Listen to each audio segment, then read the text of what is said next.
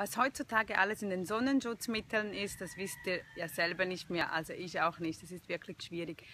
Wenn ihr nicht den ganzen Tag wirklich draußen an der Sonne sein müsst, dann würde ich das reine kaltgepresste Öl vorziehen. Natürlich im Nachmittag oder über den Mittag sich im Schatten aufhalten, aber sonst nur mit dem reinen Öl schaffen.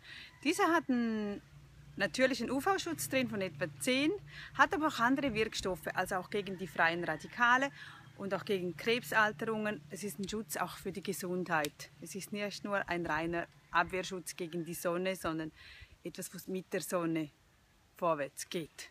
Darum haben ja diese Inselstaaten und die benutzen ja eigentlich nur das Kokosöl und sonst nichts. Und Hautkrankheiten sind da keine. Die haben na, manchmal andere Krankheiten wegen der Ernährung oder weil andere Vitamine fehlen.